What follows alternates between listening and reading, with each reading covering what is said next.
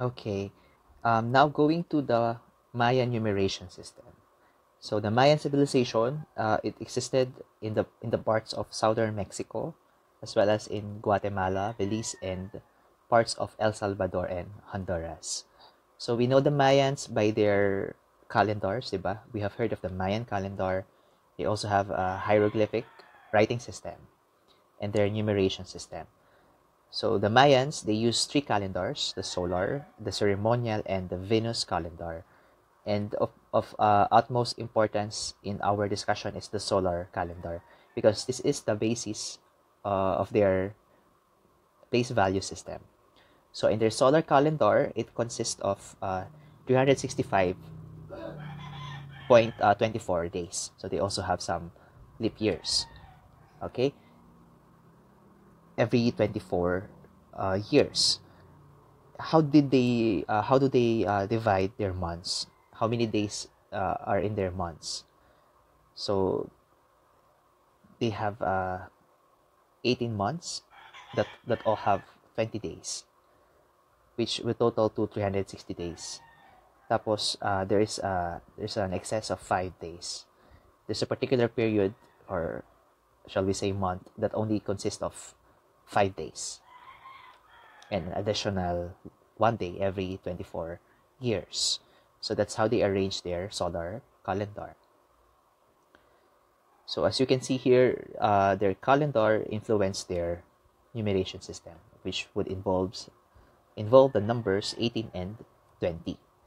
So taking a look here, um, you can see here that they multiplied 18 and uh, 20 of of, uh, after that uh, 20s place value. So at the start, they also have the ones place value. 20 raised to the 0 is uh, 1. 20 raised to 1, that's 20s. So they don't have 10s, they have 20s. But uh, suddenly, they, they, they would multiply the remaining place values also by 18. And um, the numeric, the exponent of for the 20s would you would have to add 1 for each place value. So 18 times 20, the 360s, and 18 times 20 squared, the 7,200s. And then 18 times 20 cubed, the 114 hundred thousands. That's uh, how they arrange their place value system. They also have symbols, of course, uh, hieroglyphics but in their case they only have three symbols.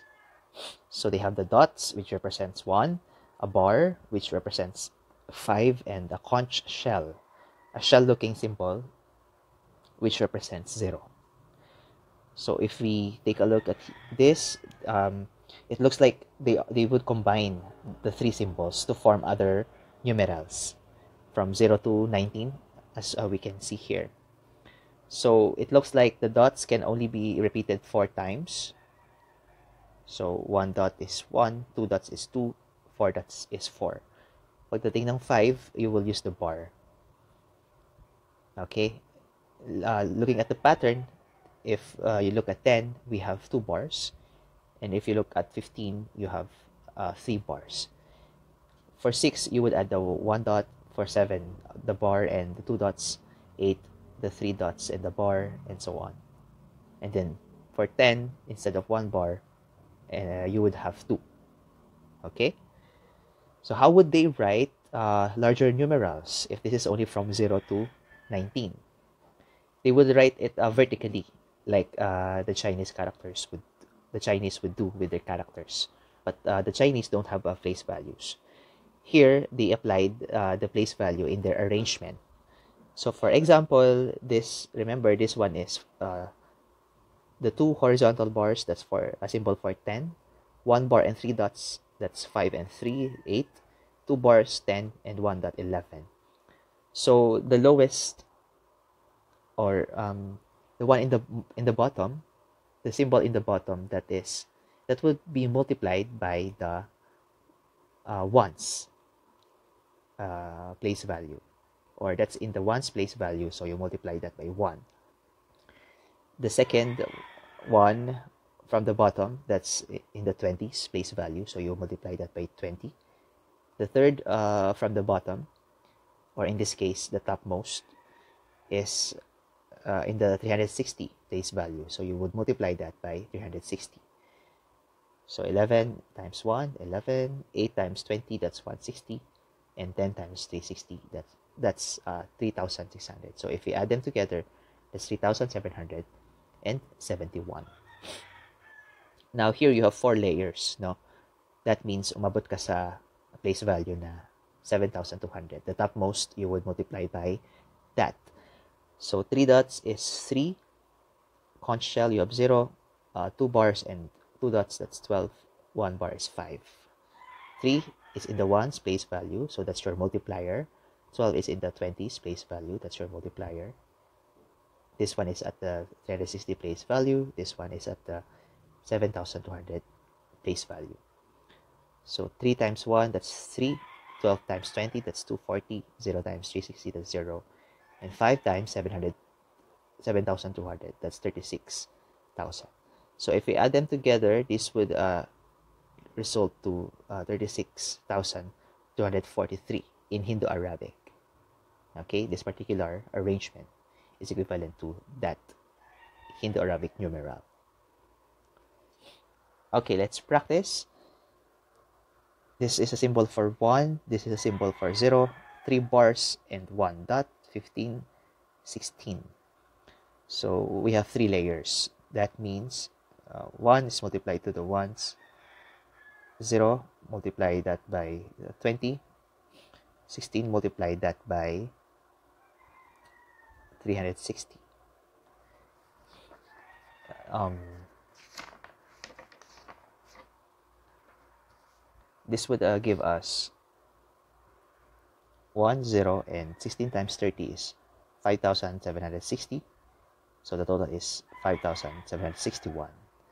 This is the value of this um, Mayan numerals in Hindu-Arabic. Okay, now in the case of letter B, this is 4 dots, so that's 4. 2 bars, that's 10. 1 dot, that's 1. And a bar and 4 dots. 5 plus 4, that's 9. Okay, so the 4 we have to multiply by 1, the 10s we have to multiply by 20, the 1 we have to multiply by 360, the 9 we have to multiply by 7,000 and 200. So 4, this one is 200, this one is 360, um, 9 times 7,200 is 64,800. So if this is added together, we have 65,364 as our Hindu-Arabic um, equivalent of this Babylonian numeral. Okay? Okay, what if um, we want to convert a Hindu-Arabic numeral into a Mayan numeral? We only have to do what we did a while ago in the Babylonian uh, numeration system. The process will be the same. So take note of our uh, the value of our place value or if we express these exponents. So we have 1 since 20 raised to the 0 20 raised to the 1 that's 20 18 times 20 that's 360 and 18 times 20 squared that's 7200 so taking a look at uh, these expressions the, the largest um, place value that we can use as a divisor for 7,495 is 7,200. Remember what we're doing is we're counting the number of 1s and 20s and 360s and so on that is contained in 7,495. So if we divide this by 7,200, uh, it, it looks like we only have one, one uh, 7,200 that can be contained in 700, uh, 7,495. So a remainder of 295 is what we are left with. Next, um, 360 is larger than this. So we go to the next one. 20. There are 14 20s in 295. And we have uh, a remainder, a final remainder of 15, which means that there are 15 um, ones in the Mayan numeral remaining. Okay, so how will we write that? This is it in expanded form. So we have 15 ones. So our symbol for 15 is this way. We have to write it vertically, remember? And then 14 20s. So two bars and four dots. 0, 360. Remember, we didn't divide it by 360. So we used the conch shell. And 1, 7,200. Uh, so a dot. Okay? Okay, so let's try to do this one. Write 11,480 as a Mayan numeral. So 11,480. So if I divide this by okay, let's let's first write our possible divisors, our place values. Okay. Uh, you can also see it here. So the largest that I can use as a divisor is 7,200. Okay, um, I think there's one 7,200 here. If I subtract that, I will be getting 4,280. So I can't divide this by ano na no, by 7,200 anymore, but I can divide it by 360. So dividing this by 360, so we have a 1 here. 428 I can divide by 360. Subtracting this, I will get 680. So I think I, uh,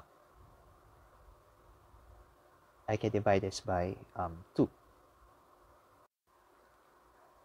Oh no, I can't divide this by 2 since 360 times 2 is 720, only 1. So subtract this by 360. What is left is 320. Okay. I still have a remainder, but 360 is too large for that. So I use 20 as a divisor. So 32 I can divide by 20. That's uh, 1 times 20 what I'm getting here is a difference of 12. I bring down 0. 6 times 20 is 120. So now I don't have a, a remainder. Okay, so what I'm saying is I have 1, 7,200, 11, 360, and 16 20s, 0 ones in 11,480. So if I'm going to write this, I will first use the conch symbol if I'm going to write this in Mayan numerals since I have 0 ones. And then I have 16 um 20 so I have 1 2 3 that's 15 a dot for 16 and then I have 11 360s 2 bars for 10 and a dot for 11.